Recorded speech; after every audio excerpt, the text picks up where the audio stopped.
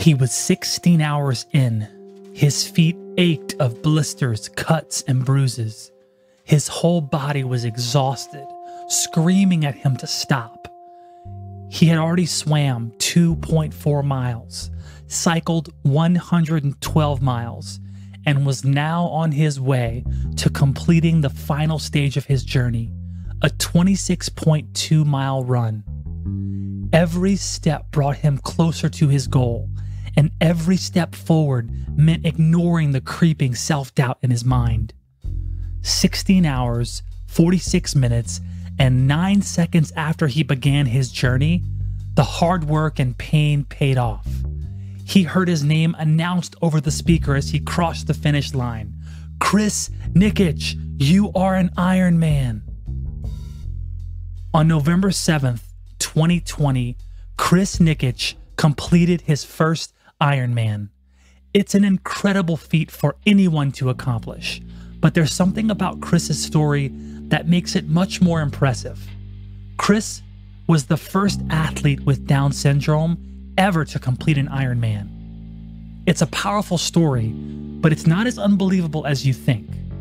The revolution is inclusion, and we have spent over half a century working to create a more open, a more welcoming environment for everybody, trying to end discrimination by opening the hearts and minds of people all over the world. As we say, the 97% of the population who do not have an intellectual disability.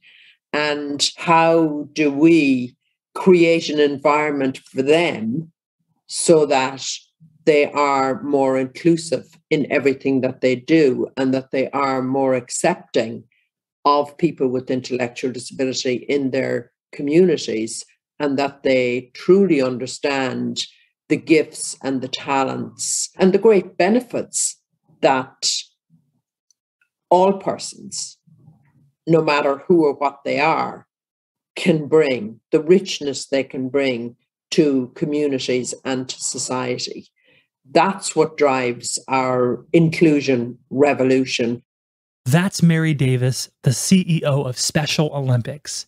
And she and her team are doing the work to create space for everyone to thrive, but inspiring those without intellectual disabilities to join them on that mission, while also helping those with disabilities reach their full potential is a multitasking mission that makes an Ironman seem simple by comparison.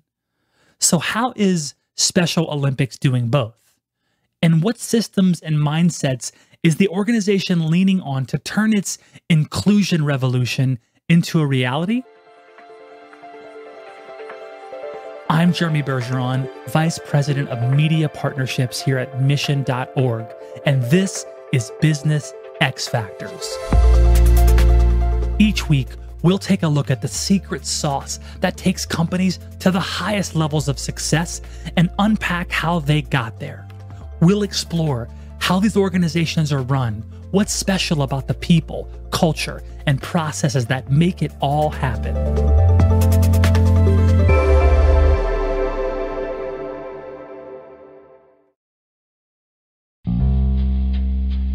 Mary has her own list of physical accomplishments. She's completed the New York Marathon and trekked both Mont Blanc and Mount Kilimanjaro. She was drawn to Special Olympics soon after college when she joined as a local program volunteer and coach. Her heart was captured and her mind was stimulated by the work facing the organization. She jumped from leadership role to leadership role and was even awarded a Person of the Year award for her work on the 2003 World Summer Games and her years of service with Special Olympics Ireland.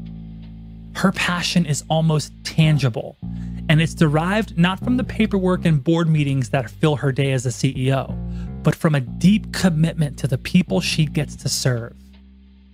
What's your perspective on humans with intellectual disabilities that seem to not have a disability of the heart? I've seen so many humans with intellectual disabilities love deeper and harder and without conditions. And it seems almost more so than humans without intellectual disabilities So, would this be a new perspective that we as a collective can learn from this community? Definitely. And when I say that they are the best teachers, they are. They are the best teachers that we have. To teach love, to teach joy, to teach compassion, to teach beauty, to teach fearlessness as well, mm. and all the other things, to teach courage, to teach determination. They do. It's not that they can, they do teach us uh, mm. so much. And you're so right about it's a joy. And I remember when I started out as a teacher working in, in a special school, it was that the essence of that very thing that kept me there, that kept me going, that kept me involved. I didn't want to leave because of you left work every day feeling joyful. Founded by Eunice Kennedy Shriver in 1968, Special Olympics has found a way to share with the world that same thing that Mary was inspired by. Today, the organization works with more than 6 million athletes in more than 190 countries. They hold 94,000 competitions a year and get help from 1 million coaches and volunteers who help make grassroots operations possible. And while the organization has certainly grown and expanded over the half century since its founding, the mission has always remained the same to create a world of inclusion and community where every single person is accepted and welcomed, regardless of ability or disability. From the outside looking in, to see that much growth in 50 years is an astonishing success story and a powerful case study of what can happen when we bring humans together. But as Mary will tell you, the work is never done. There are so many more people and countries that have yet to be brought into the fold we need to expand our work because at the moment we have about 6 million athletes in the program or people with intellectual disability. But when you think that there is anything up to 200 million people in the world with intellectual disability, we have a lot of expansion to do. And we need to look differently about how we're going to do that work as well and really move into the digital space Recruiting new athletes isn't as easy as simply finding them and asking them if they'd like to join Special Olympics. In a world as big as ours, every country and culture has its own understanding of people with intellectual disabilities. And before Special Olympics can recruit athletes, it first has to help communities shake their biases. We go into all these countries. We don't stop. We go into all these countries to change attitudes, to change mindsets, to change behavior, and to have people understand. And one of the great challenges for us is that over 60 or 70% of our athletes come from developing countries. Mm. And in many of those countries, it's a stigma to have a child with intellectual disability. So you can imagine what it's like for the families of those children that are born oh, yeah. with an, an intellectual disability. And they're often so sidelined. Too often, communities struggle to include people with intellectual disability. And a lot of it actually comes from not understanding, a lot of it comes from ignorance. So we find, for example, oftentimes in our school systems, we have we have people with intellectual disability that are bullied that are marginalized that are maltreated. And it's because when we do dig deeper with our programming in those schools it's because the students don't understand or they lack the education of the giftedness and the abilities of people with intellectual disability. And that's really how we came about to have the Unified Champion Schools program, which is a program where young people with and without intellectual disability come together on the sports field, in the gymnasium, in the swimming pool. They play together, they have fun together, and they begin to understand each other and they begin the, the non-disabled person can look at the person with disability and say oh i can play basketball as good as you or i can play basketball to my ability level or i can do 10 pin bowling or whatever a sport is so it's a lot of what we try to do is educate the public to be mm-hmm. more understanding to be more accepting these local programs are what make all the difference globally, but getting each started and keeping them running is its own challenge. It takes partnering with the right people in the right places and getting them to buy into the mission of the organization. We put an awful lot of effort into building partnerships, whether it's with the medical profession or the educational profession or the sports uh, the sports institutions, the sports governing bodies that we work so closely with as well. But also, we need to build sustainable government partnerships around the world. And that takes time and effort to do that because every single one of those governments in the 190 plus countries that we're involved in, they should all be supporting the work that we're doing, mm. both financially supporting the work that we're doing, but also supporting it in other ways as well. And mm. that's always a challenge for us. How do we engage governments? How do we keep them involved? And again, empowering them to get involved at local level and to support the local program in their country and to mm-hmm. include people, to be inclusive of people right. with intellectual disability as well. So we still have a long way to go in terms of convincing all those governments, talking to them, getting them engaged. Mm-hmm. Our education ministers should be passing laws to have unified sports in every single school, in every single country. That's not happening mm-hmm. at the moment. Mm-hmm. So it's happening in some communities and in some countries, but not in all countries. So wow. there's a lot of work that still needs to be done in, in those areas. How is Special Olympics forming these partnerships, providing the education, and telling the stories to shift hearts and minds? Find out after the break.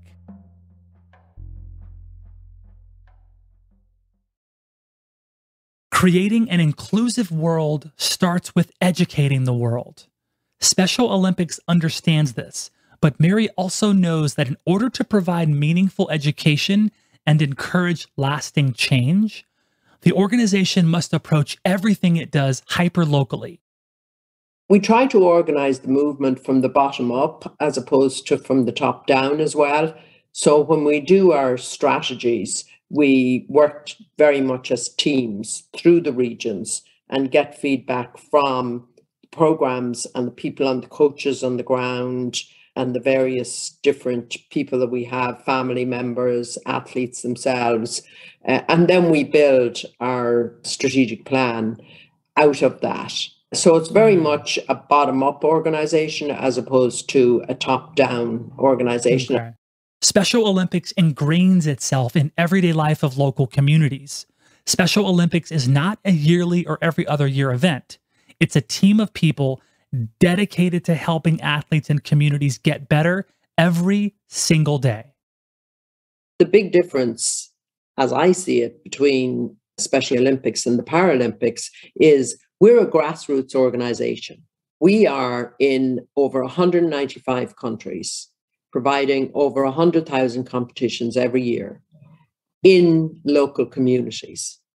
We provide training, we organize clubs, we provide health opportunities. As I mentioned before, we have our extensive schools program all at local level, and we have our sports program obviously as well. Whereas the Paralympics and the Olympics are focused very much on the one time big event that Got happens it. every four years the Olympic Games and the Paralympic Games. Now, we do have big games, World Games as well, every second year, depending whether it's Winter Games or Summer Games. And that is our flagship and our highlight event. And that really does help us to drive the movement around the world. But the real meat and guts of what we do is at that very local grassroots club level. And we put a lot of resources into that and into the development at that level. Because if we can improve the skills of the athlete at local level and they're going to progress onwards then to qualify or to compete at World Games, then they're going to improve so much in terms of their skills and their confidence, their self esteem, and their physical skills as well. A key way Special Olympics helps build that confidence and flush out ignorance is through storytelling. In order to help people think in different ways about what's possible, Special Olympics puts some of the biggest success stories on display. Stories are a powerful motivator. They offer a way to connect that resonates more than stats and figures ever could. And inspiring stories have helped Special Olympics not only build credibility with all kinds of audiences, they have been a useful tool to illustrate the damage of backward thinking and motivate change. We had one situation here where one of our athletes, Oliver, was bullied when he was in school. And he decided to put all his energy and resources into playing golf to such an extent that he was a six handicapper, which is anybody that knows wow. anything about golf would understand that's a pretty good handicap. Yeah. And he went on to participate in many world games, won gold medals. And when he came back to his community, he was recognized for his talents and he was actually became the president of the local golf club. And now he was meeting people who had bullied him in school who were actually apologizing to him and saying, look, we didn't know it was ignorance. We didn't know at the time. We have examples from refugee camps. We have examples from countries like Aaron Banda, a person who was tied to a tree from the age of two to seven. Again, it wasn't because the parents were cruel, it was because they had to go out and, and work in the fields and look after the other, all their family. And they had nowhere to put that person. And then when our volunteers came along and discovered Aaron and and gave him his uniform, his sports uniform, and put a ball in his hand, he suddenly started to engage and get involved and started to play football and started to move around in the community. And then parents realize, of course, he can do, there's lots he can do. They've never explored this. The stories of success don't just come from outside the organization either. Internally, Special Olympics boast a diverse staff with their own tales of resilience and personal development. We have a wonderful chief inspiration officer in our organization, an athlete called Loretta Claiborne from Pennsylvania.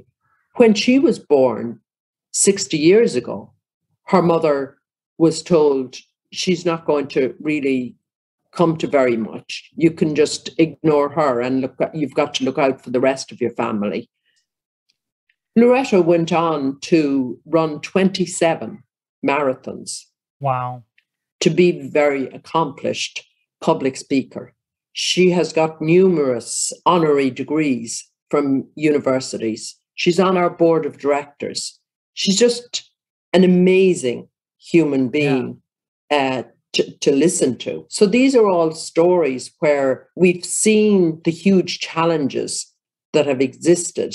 And our job is really to overcome those obstacles and those barriers and to have people understand that equity is important and that inclusion is really important. In the book True Story How to Combine Story and Action to Transform Your Business, author Ty Montague posits that there is a new type of business on the rise, one that steps beyond storytelling and uses story in a more powerful way. It's what he calls story doing. Story doing companies advance their narrative through action, not communication. They emphasize the creation of compelling and useful experiences and use story to drive tangible action throughout the company. Examples include Red Bull, Tom's Shoes, and Warby Parker. And being a story doing company pays off. Story doing companies are more positively perceived on social media, spend less money on paid advertising, and grow faster, both in revenue and share price than their storytelling counterparts. Special Olympics is without a doubt a story doing company. Every day, Mary and her team are living out another chapter and then turning around to leverage their stories to educate communities so that eventually Special Olympics can reach its ultimate goal. Utopia, of course, would be true inclusion where everybody is accepted and respected. Unfortunately, the tide is turning, but it hasn't turned enough. It's still a tragedy that there's so much stigma, that there's so much indifference in the world, that there's so much ignorance in developed as well as developing countries. And all of this, our athletes are facing all of that today. So that challenge remains enormous for us. And our job, as I see it, is to continue to fight fear, to fight the stigma and the bigotry that exists, and to ensure that that true inclusion, not just lip service inclusion, but true inclusion. So the day a person with intellectual disability has open access to society, to community, can use their talents to go and work in the community, can play sport, can have fun, can, can, can do everything that everybody else does. That's when Special Olympics will feel like we're doing a good job. The year after completing his Ironman, Chris Nikic was awarded the Jimmy V Award for Perseverance at the ESPYs. In his acceptance speech, Chris talked about how he went from being excluded and isolated to being independent and included. He talked about how he had a dream that seemed impossible, but was actually, in his words, easy because he just got 1% better every day. By being committed to story doing and leveraging those stories to educate and recruit communities, Special Olympics is steadily making its inclusion revolution a reality for people around the world, 1% at a time.